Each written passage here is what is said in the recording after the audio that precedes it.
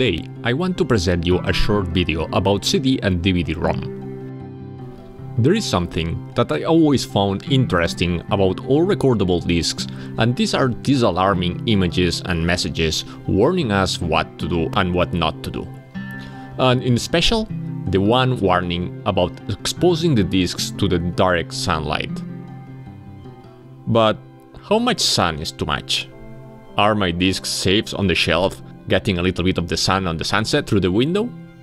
Well, let's figure it out and toast some discs under the sun. Welcome to another mini project.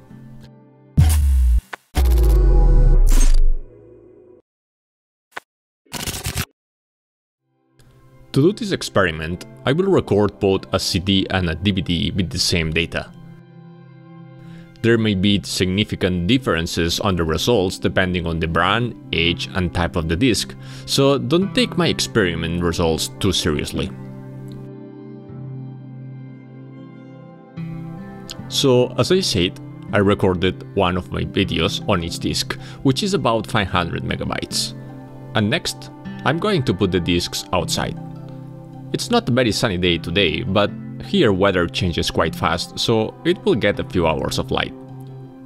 This was recorded in June, and due to the location of my city, sun is pretty intense now. So it's been all day, and I'm going to check if something happened. Visually, I can't see any difference.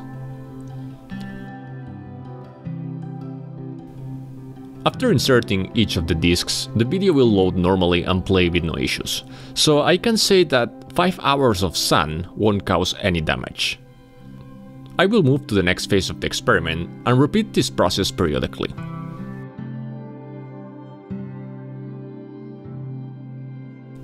It has been one month since the last images were taken, and during this time, both discs spent one week outside the balcony, getting rain, sun and dust, and the rest of the time they have been sitting on the window, getting a few hours of sun and extreme heat every day. So it's time to see if the data is still there. Surprisingly, the videos played perfectly like the first day, so at this point I can't say that the sun and heat affected the disc in any way. That doesn't mean they are not affected. In fact, I noticed that many of my old CDs begin failing substantially around the 10 years of age. So probably what I did is to reduce the useful life.